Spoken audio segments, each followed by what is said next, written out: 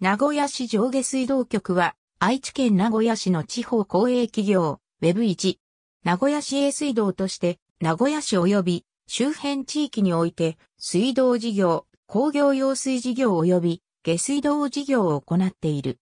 1889年、名古屋は市政を施行して、名古屋市となった。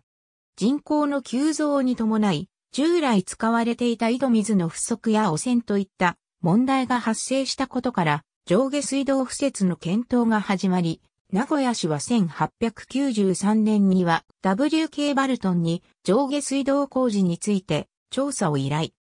翌年にイルカ池を水源とする名古屋市給水工事に関する意見書と名古屋市下水道工事設計室報告書が提出されたが、これは予算の問題から先送りされた。その後も人口の増加は続き、名古屋市は1902年愛知県義市の上田敏郎に調査を移植。上田は緊急下水道計画を作成して当時の市長に提出した。1906年に木曽川を水源とする上水道及び下水道の建設議案が市議会で可決され、1908年に下水道が、翌年には上水道が着工。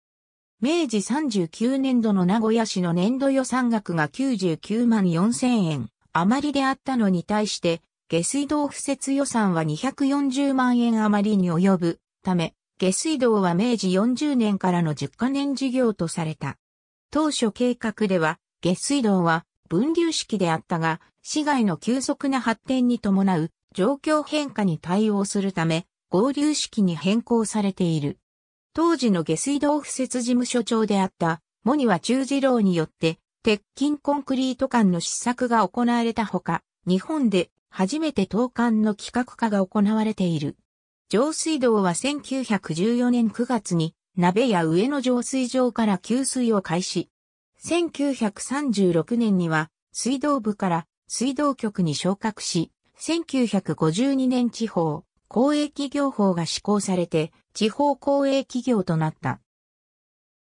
下水道は1912年11月に供用を開始。創設工事は1923年まで継続され、当時の市街地のほぼ全域をカバーしている。当初は下水を堀川や精進川に放流していたが、河川の水質悪化が深刻化したため、1930年には日本で初めて三期式活性汚泥法によって下水処理を行う堀止め処理場、厚田処理場の運転を開始している。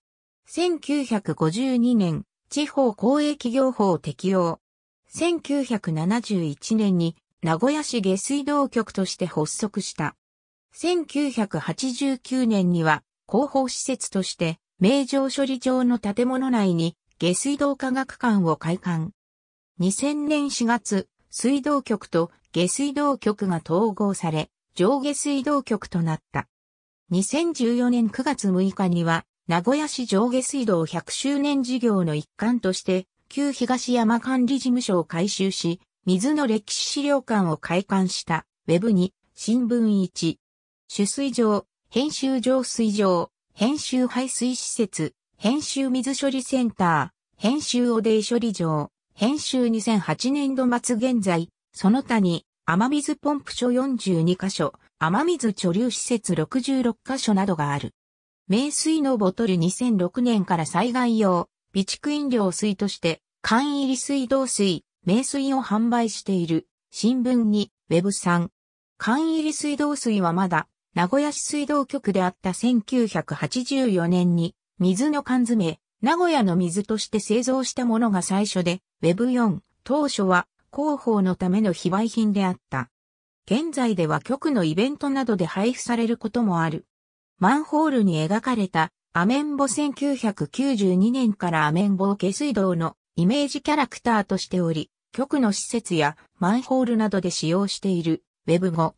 平成26年度。数値は1位、数値は3位以内、数値は最下位から3位以内、数値は最下位東京都と政令指定都市のうち県営水道から給水する千葉市、相模原市、熊本市を除く18事業体の順位。ありがとうございます。